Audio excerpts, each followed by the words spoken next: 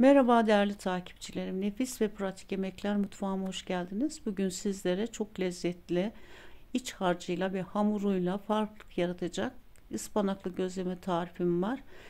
Videomu inşallah beğenirsiniz. Hemen videoma başlıyorum. Öncelikle derin bir kasenin içerisine bir paket instant mayamı koyuyorum. Sonra bir tatlı kaşığı tuz, bir tatlı kaşığı şeker ilave ettikten sonra üzerine 3 su bardağı su ilave ediyorum. Şöyle karıştırdıktan sonra ağzını kapatıyorum ve mayamın aktifleşmesini sağlıyorum. Tabamın içerisine yarım su bardağı sıvı yağ aldıktan sonra iki tane yemeklik doğradığım kuru soğanları koyuyorum. Soğanlarım sarardıktan sonra üzerine karabiber, pul biber, kimyon ve kırmızı toz biber ilavesi yapıyorum. Şöyle bir iki tur çevirdikten sonra ocağımın altını kapatıyorum. Ben bu tarifte 2 kilo ıspanak kullandım.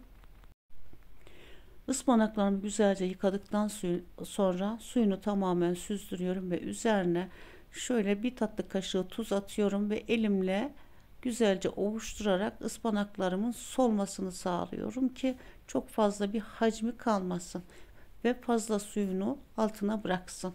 Sonra gördüğünüz gibi ıspanaklarım yavaş yavaş sönmeye başladı. Şöyle iki avucumun arasına alıyorum. Ispanaklarımın fazla suyunu sıkıyorum. Ayrı bir kaba alıyorum sıktıklarımı. Bütün ıspanaklarım bitene kadar aynı işlemi uyguluyorum. Ben azar azar yaptım. Hepsini bir arada yapmadım. Yerim e, kabım küçük olduğu için. Biliyorsunuz ıspanak da çok fazla yer kaplayan bir sebze. Sonra hepsini gördüğünüz gibi bir arada topladıktan sonra hazırladığım iç harcını ıspanağımın üzerine döküyorum. Şöyle güzel bir karıştırdıktan sonra üzerine de 3 tane yumurta kırıyorum.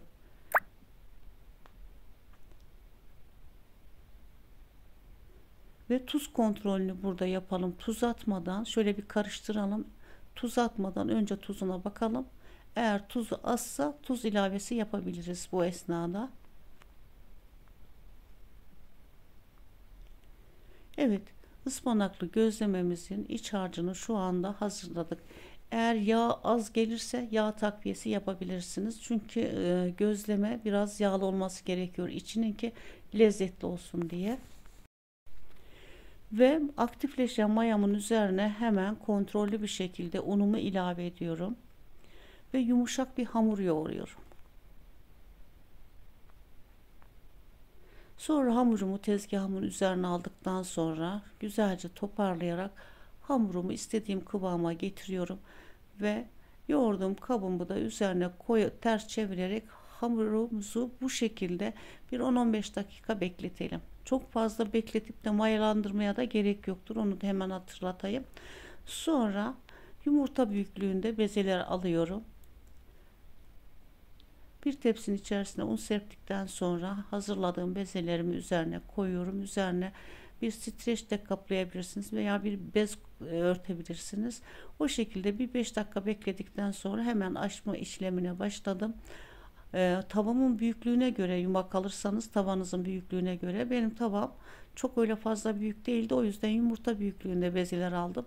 Gördüğünüz gibi açıyorum ve içine iç harcımızdan dolu dolu koyalım. Bu arada ocağımız da açık. Tavamız e, ısındı. Hemen şöyle gözlemelerimizi içerisine atıyorum.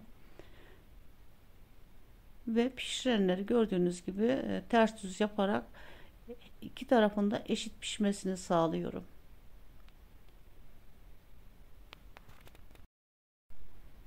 Çok lezzetli olan gerçekten e, kış bitmeden hemen hemen her hafta yapıp da yiyebileceğiniz bir gözleme tarifi. Sizi çok fazla uğraştırmayacak bir gözleme tarifi sevgili değerli takipçilerim. Ve pişirdiğimiz gözlemelerimizi de hani üst üste koymayalım. Bir e, bezin üzerine koyalım ki hamurlaşmasın. Şu anda da göstermek istiyorum nasıl güzel piştiğini ve lezzetli gerçekten güzel bir gözleme. İsterseniz bu esnada sıcakken e, üzerine tereyağı da sürebilirsiniz. Ben az hani tüketildikçe tereyağı sürme taraftarıyım. Evet değerli takipçilerim bir videonun sonuna geldik. Başka videolarda görüşelim diyorum ama önce kanalıma abone olmayı, bildirim zilini açmayı, yorumlar kısmına da fikirlerinizi yazarsanız çok sevinirim. Hoşçakalın. Hepiniz Allah'a emanet olun.